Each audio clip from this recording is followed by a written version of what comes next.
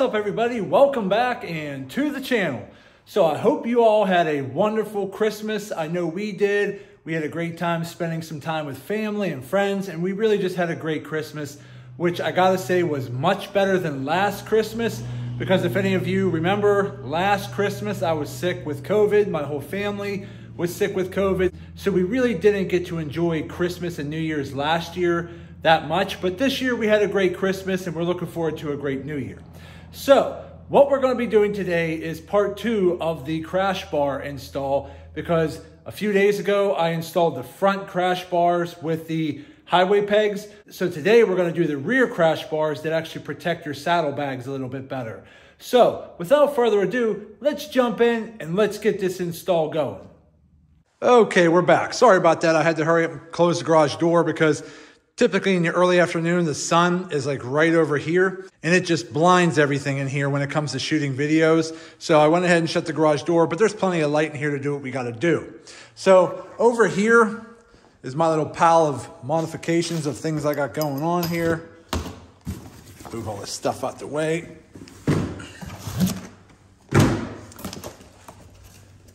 Okay, this is what we're going for right here.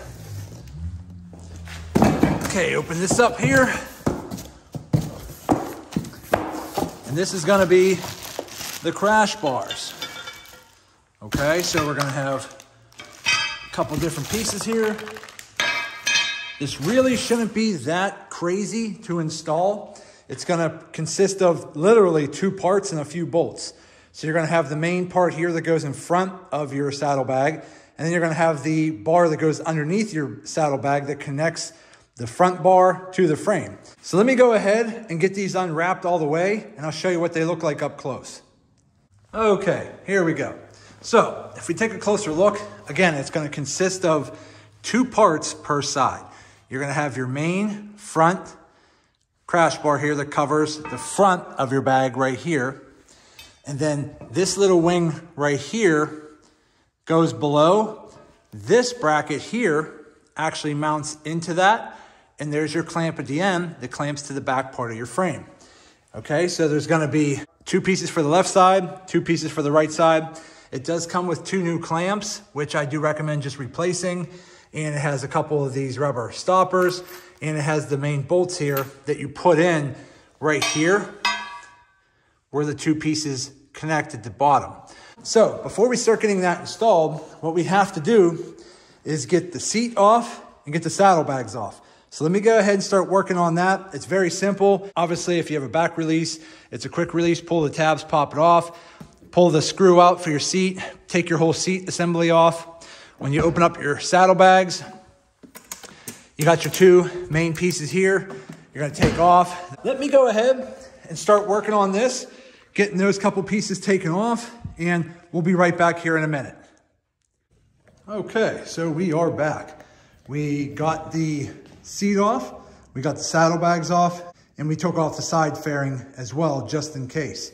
So typically you're gonna be using this bolt right here on both sides, and then there's gonna be a bolt down below, and then we have to take off this bracket here, which is the old factory bracket that goes underneath the saddlebag. So we gotta take that off. So looks like it's pretty much only held by two bolts. Take those two brackets off, uh, looks like this is already slid off right here. I gotta get that off. Take that bolt off there and we'll take this off. So let's just tackle one side at a time. Let me get this bracket off and then we'll start installing the new bracket. I'll be right back in a minute. Okay, just to give you a quick little update. So I went ahead and took the two main bolts out. They're gonna look like this, okay? And they do have two different sizes. The larger one, I believe is a T45 for the larger bolt. The smaller one, I believe, is a T40. Okay, that took those out. And then the run up front is also a T45.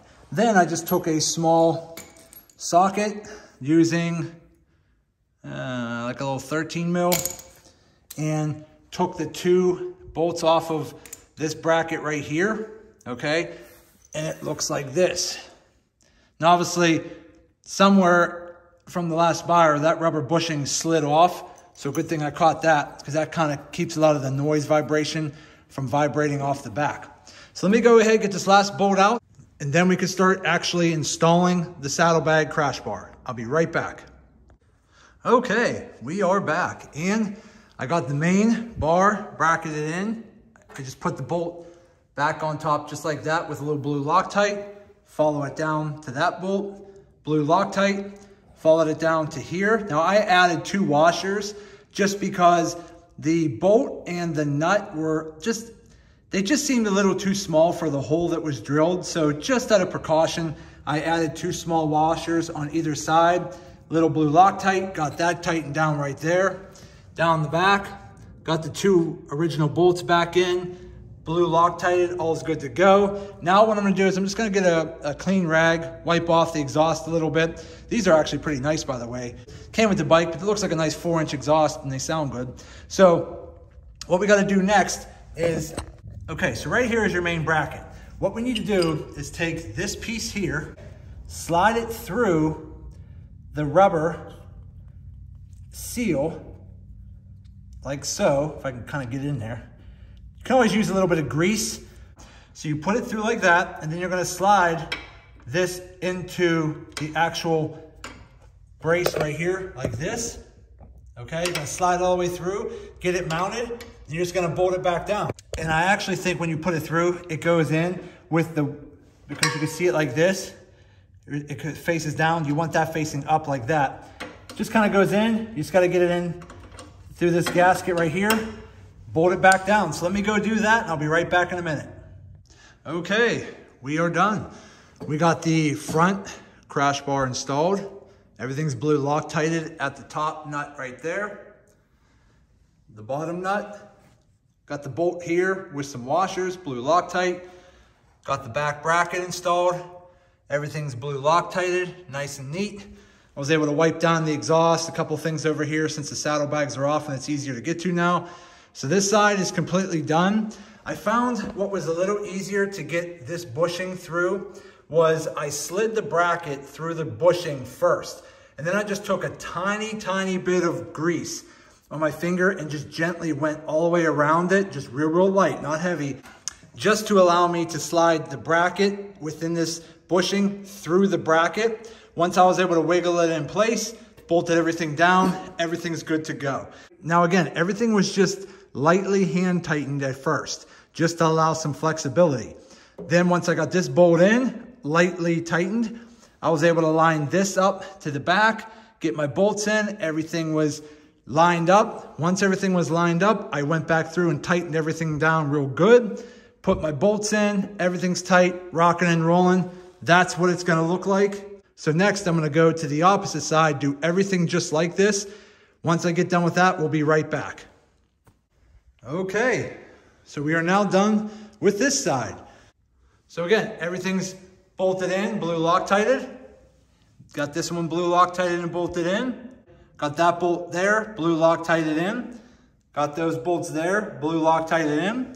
Got the actual bushing and bracket installed just like that. Everything's bolted down, blue Loctited in. So everything's done. We are all good to go. Now I just got to go ahead back in, put my saddlebags back on, put everything back on, and we'll be right back to show you what the final product looks like. Okay, we are done. The bike is done. The bike is put back together.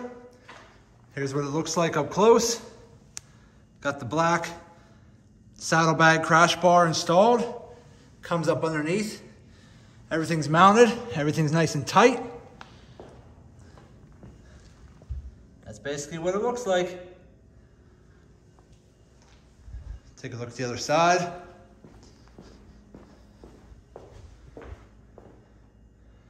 You go there. That's what it looks like. Now I have much better protection for my saddlebags. If this bike would ever happen to fall over, it actually sticks out just past the saddlebag, as you can see here. So if it's whatever tip, I'll have much better coverage.